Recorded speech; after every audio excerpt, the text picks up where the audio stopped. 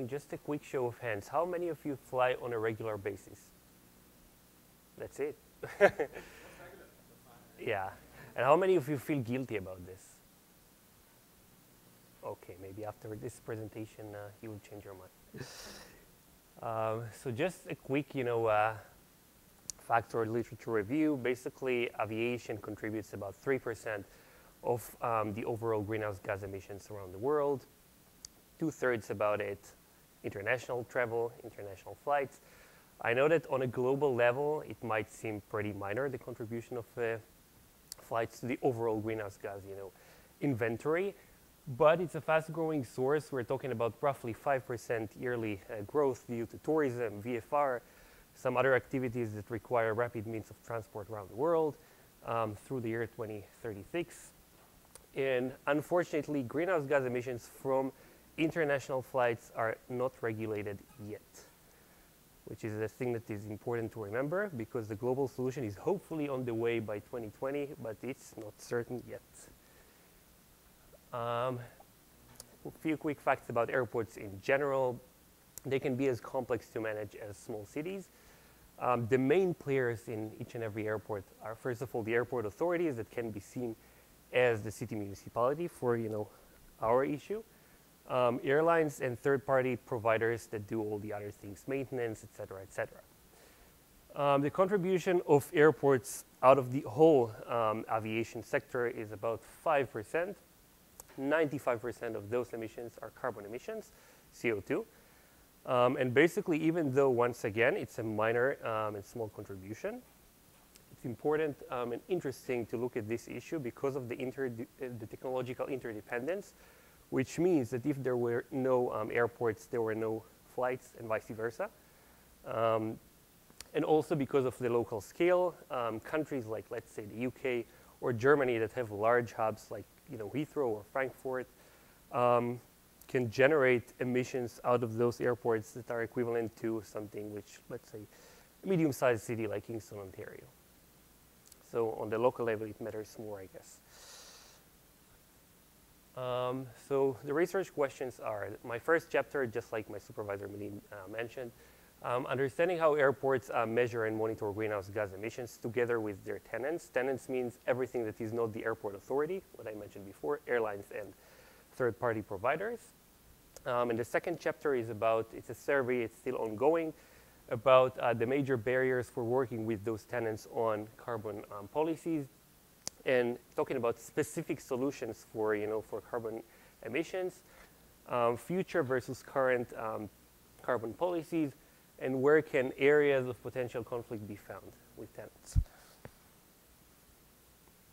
The method. Um, the first chapter um, is about um, a preliminary study that I've already done. I just took like the list of the first um, top busiest, 1,000 busiest airports by passenger volume um, from around the world. And I was looking at their um, reports, greenhouse gas reports, if they published at all, tried to understand exactly how they measure, how they classify each and every source, and try to basically analyze and, and understand what I can get out of it. Um, the second chapter is a mixed um, survey that is both qualitative and quantitative. I tried to send it to as many airports as I could around the world. It's a bit of a struggle because sometimes, you know, they are a little, a little bit reluctant to answer. Um, in collaboration with Airport Council International, uh, to figure out um, the barriers that I was mentioning previously.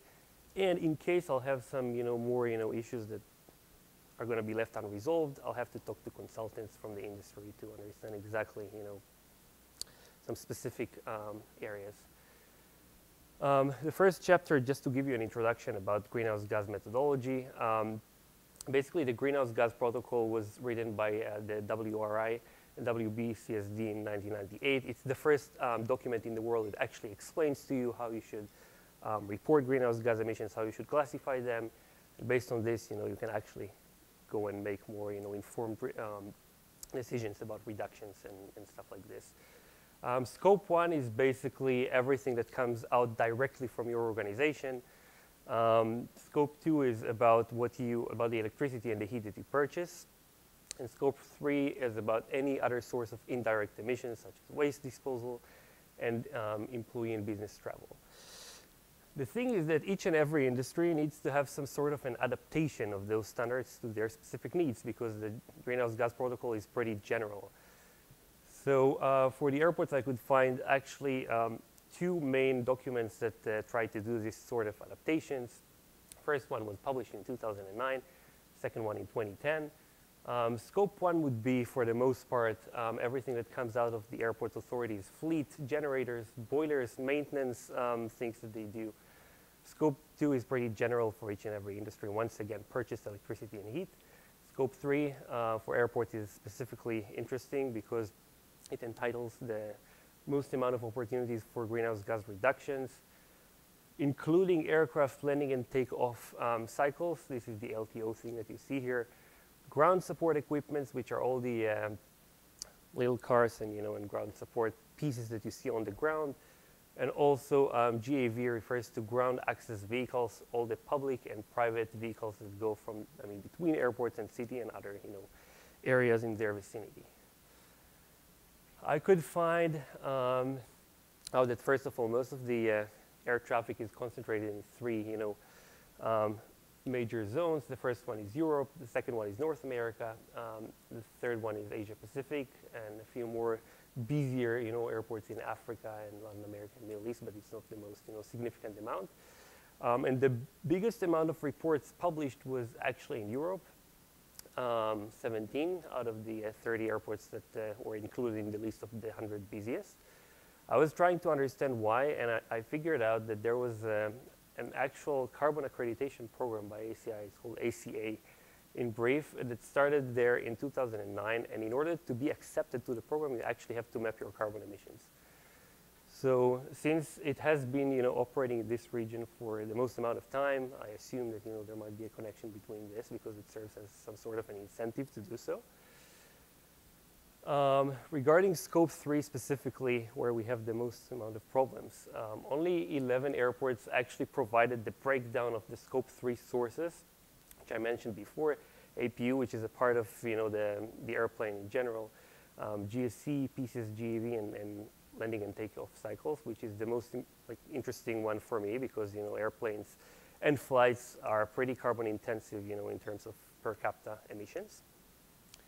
Um, 19 airports based on, you know, this levels of certification, ACA and stuff, I, I could tell that they actually know the scope three emissions.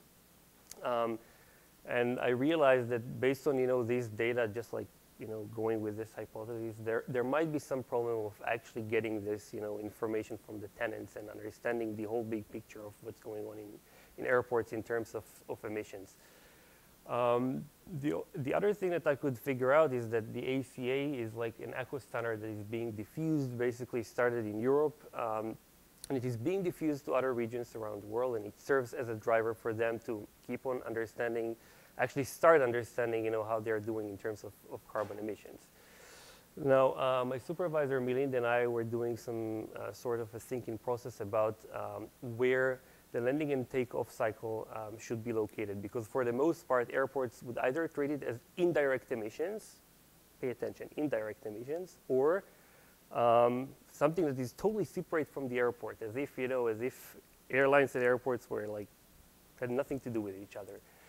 Um, on average, I found out that uh, LTO cycles uh, account for more than half of the airports, sorry, more than half of the emissions generated by an average airport um, which is you know interesting interesting to see.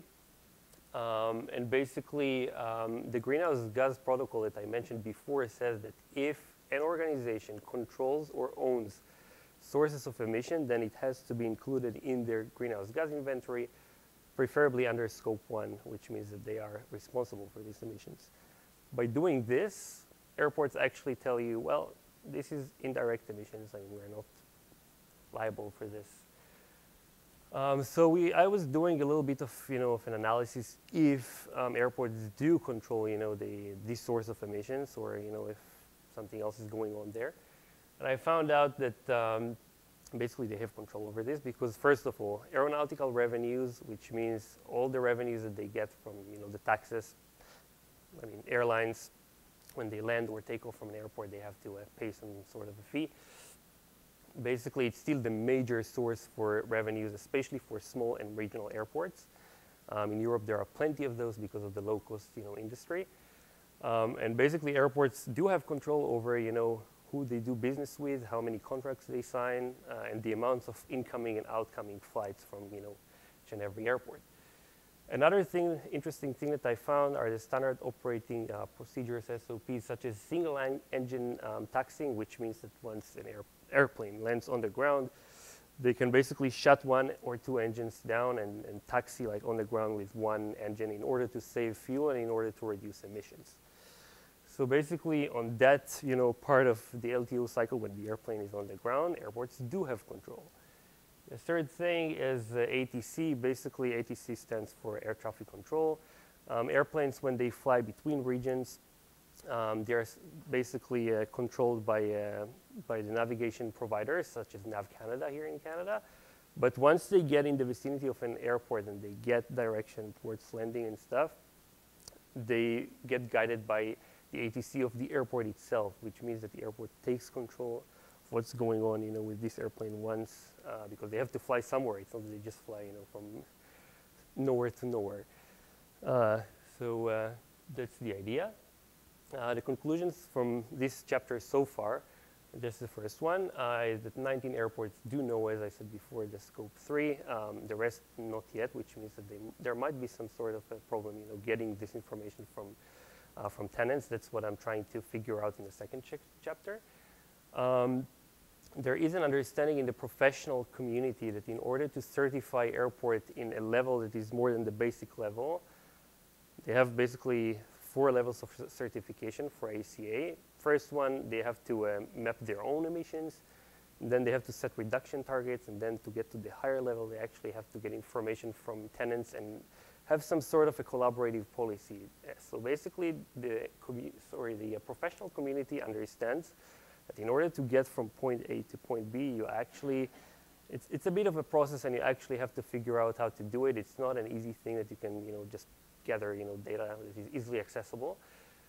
Um, and also the, the need for a unified standard that reflects um, the attribution and liability for greenhouse gas emissions in airports because right now it's kind of like a very flexible, you know, uh, game. Each and every airport can basically decide if you want to, you know, include scope three, not include scope three, what and which sources they want to include in scope three, and we basically don't really understand, you know, the, the big picture. Um, chapter number two is actually a survey that is, is more um, micro than macro. I'm trying to understand exactly what's happening in airports and, and the relationships between airport authorities and um, tenants in regard, in, you know, that issue um, of carbon uh, policies. Uh, basically, it's really hard to convince airports to uh, answer the surveys because you know it's it's a public authority for the most part, and, and, these people are busy. So, trying to get at least 30. I have 24 so far, sorry, 25. So uh, I'm optimistic. Um, the four pillar strategy basically is something that I'm trying to understand uh, through the survey.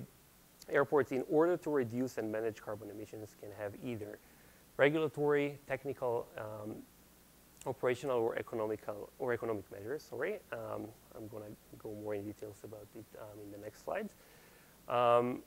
Through this, I'm trying to understand, as I mentioned before, the barriers for you know for an effective carbon policy in an airport. And the survey follows this structure of uh, the environmental management structure um, by, as, as defined by ISO. For the most part, you plan some sort of a policy, you do it, you check it, you monitor it, and then you correct or act. So far, I do have um, 25 results, as I mentioned before. It's an ongoing survey. I'm still waiting for, you know, for the final results. Um, I do have airports participating um, that have anywhere from a small number of tenants involved to up to 200 tenants, where you have a lot of airlines and a lot of, you know, providers, and, and it's a big mess, sort of. Uh, in terms of passenger volume, anywhere between 125K to 63 passengers a year. The majority of them are in the United States, um, 16, 5 in Canada, and 4 in other regions of the world. Just to give you a sense uh, geographically and by governance structure, most of the airports that participate in my survey are in the United States and they're government owned and operated, even though I, I, have seen some other models, some like such as independent not-for-profit, which is Canadian for the most part. You can see it you know, located on the map. And even one airport that is private and for-profit, so I'm expecting some other results you know, from them in Australia. Um, first, I wanted to understand the priorities because airports, in terms of environmental policies, have other priorities other than uh, greenhouse gas emissions. Um, so local air quality, aircraft noise, carbon emissions, and third-party risks to communities that border airports are basically uh, the issues that I was looking at. I divided it into uh, the do stage and the plan stage. So that's basically what's going on right now. Um, as you can easily see, uh, basically, see if it works, yeah. So uh, for the first option, um, aircraft noise came up as um, you know the most prominent one. Second option, um, local air quality, and then climate change came out as the third option. However, when we uh, actually look at what's going, what's, what's planned in the future, we see more number one and two um, in terms of carbon emissions than, than three and four like, like here. So the awareness is there. It's not there yet. That's what I, I wanted to say. And it was important for me to understand this because that, I mean, this, yeah.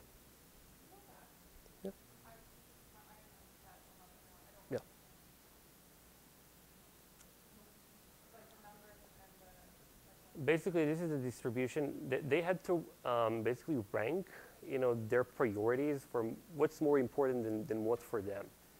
So um, the highest priority that came up, you know, for all the airports right now was aircraft noise, which was kind of um, surprising for me because I know that aircrafts are 70% quieter than what they were, you know, many years ago. So uh, this issue is, is, you know, is is being mitigated. Um, but I wanted to kind of compare, you know, what's, what's going on on the ground right now and what's planned in the future. Because some airports do not have the capabilities or, you know, the personnel yet to deal with it. So I just wanted to know if they at least have plans. Yeah, exactly. The four major issues that, you know, airports can deal with.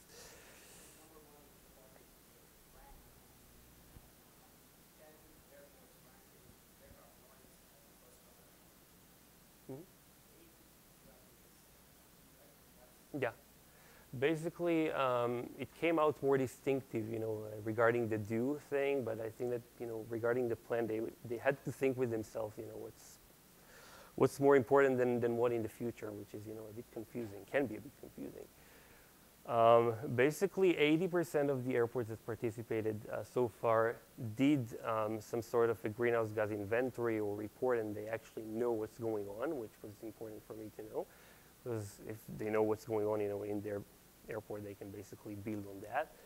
Um, it was interesting to see that uh, out of those 20%, um, the biggest group said that the biggest incentive for them to uh, actually come up with a carbon policy was because it was a part of an overall environmental strategy and they basically wanted you know, to, to do a good job in, in that sense. But out of those who didn't conduct this uh, report, they said that the biggest incentive for them would be mandatory regulation, which is kind of surprising in my opinion.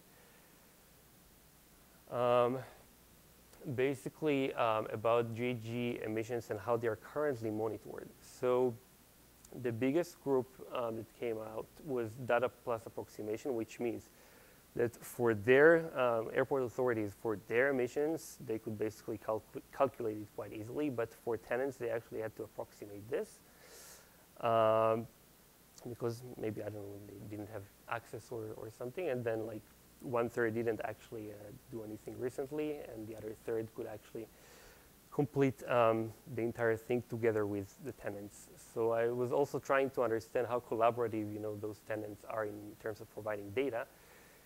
And uh, the biggest group uh, said that they were kind of neutral, you know, like undecided about this. Um, afterwards, um, the second group said that they were pretty collaborative.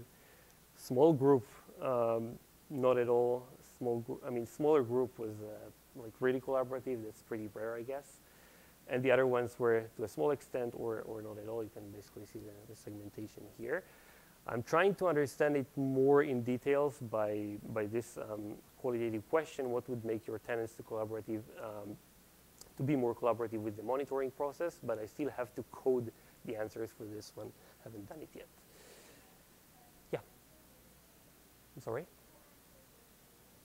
Um, people in the environmental departments of each and every airport that participate.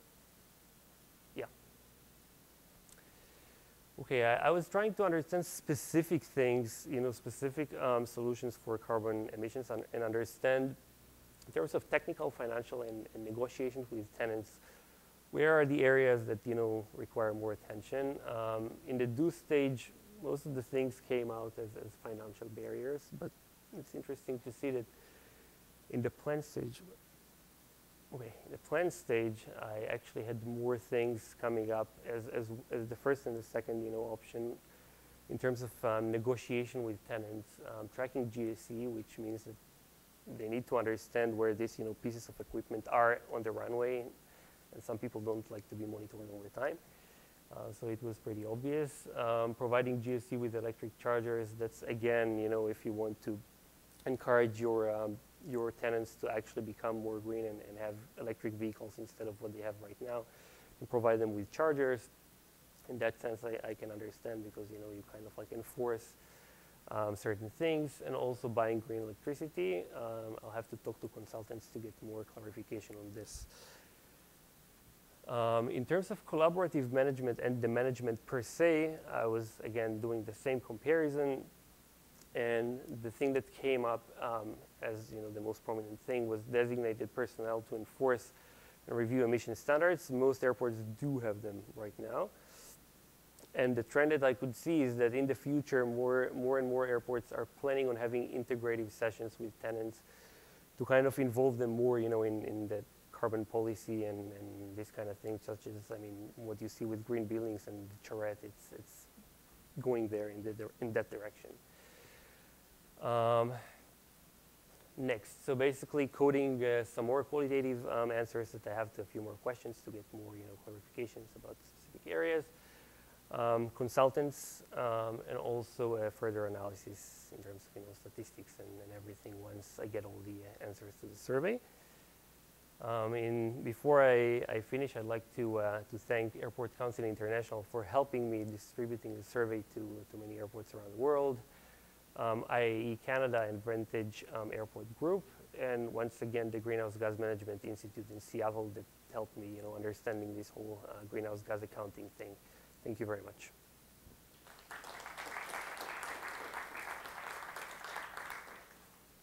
Okay, Matt.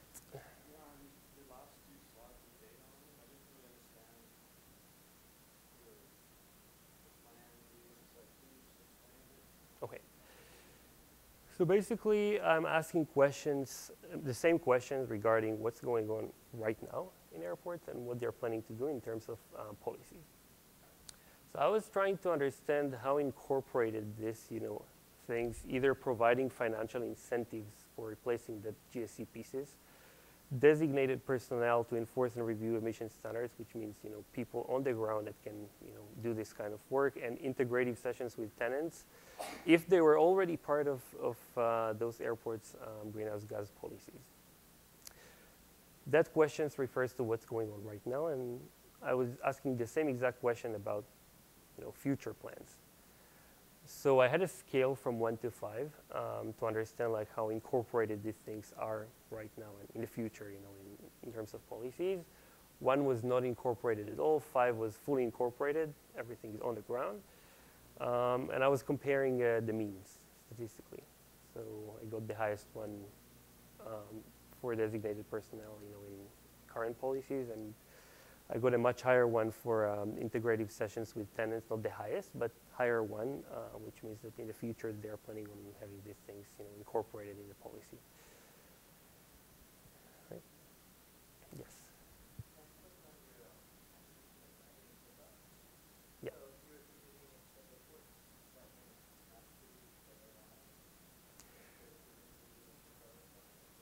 That's a good question, yeah. So basically, um, I saw like a recommended methodology on this one, which actually recommends um, distributing the emissions to both airlines and airports, uh, but each one has their own, you know, portion. So the landing and takeoff is attributed to airports, and all the rest, airlines. So you kind of like divide the responsibility, um, not evenly, because of course, you know, we're talking about different proportions, but basically you, you involve everybody who should be involved in this.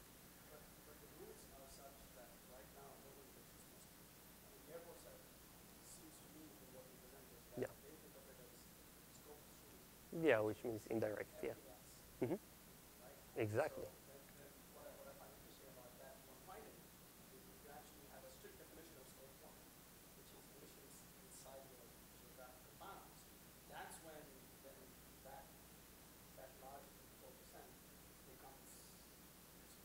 Mm -hmm. Because then it's your responsibility rather than the one is all your expecting. So you know, how do you sort that out?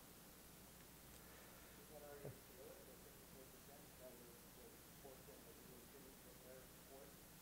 Or some other debt where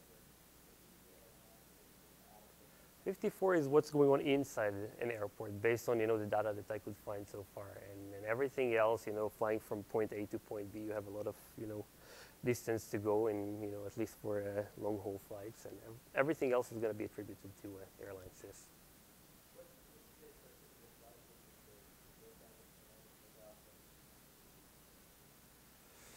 It's a good question uh, but that's that's the interesting thing I mean landing and takeoff uh, in terms of like the phases of flight are, are the one that take up the most amount of fuel I guess because you actually have to you know take all this mess up and down so uh, that's why it is important to you know to understand the, you know those proportions. Yes.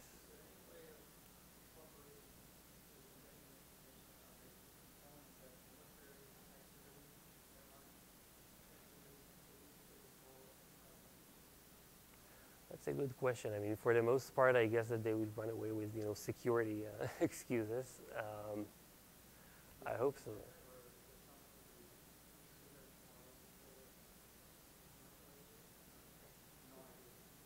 I basically have no idea about this, but I mean, for the most part, I mean, I, I see that you know civil airports are pretty reluctant, you know, to put out their data about these things. So uh, I don't want to think about military. You know, it's yes.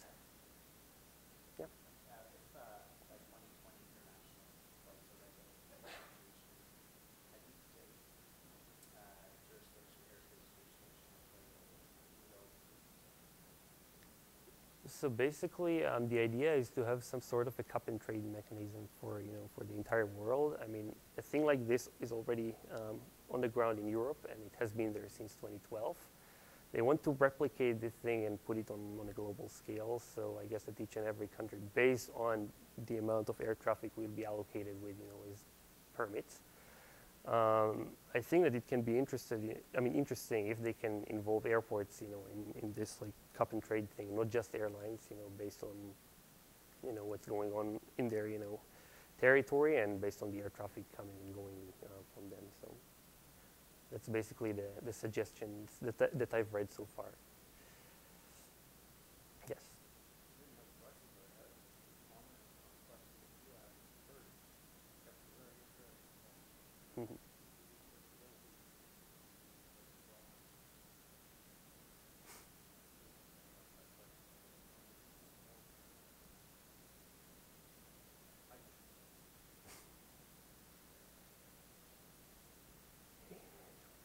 Thank you.